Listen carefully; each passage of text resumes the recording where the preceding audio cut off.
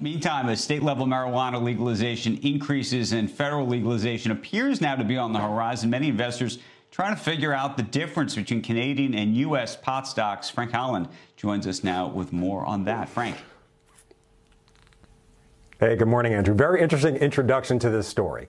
Uh, U.S. legal cannabis sales forecast to top $24 billion in 2021, a 40% increase year over year, making pot one of the fastest growing U.S. industries, and multi state operators that have the ability to sell medical and recreational cannabis, the only way to invest in those trends. The CEO of Cresco Labs believes the industry is headed for a supercycle.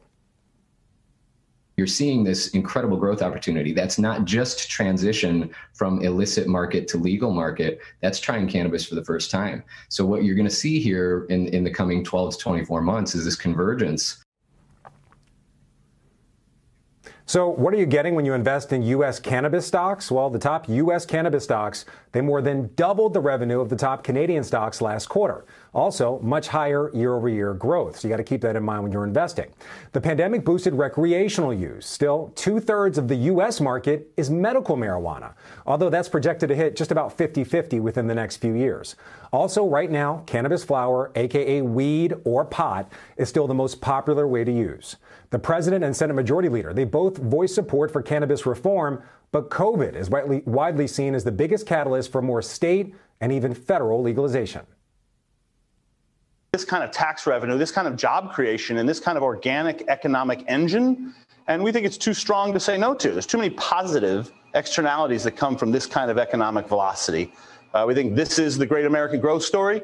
Uh, this is what it's about: is new industry, new job creation. If federal legalization happens, U.S. producers are expected to have an advantage because they already have dispensaries and, in many cases, growing licenses in place here in the United States. But there are questions about valuation in such a new industry. Many analysts say enterprise value to sales is the best way to assess these companies because there's still so many questions remaining about profitability and the eventual need for capex investment. Shepard Smith here. Thanks for watching CNBC on YouTube.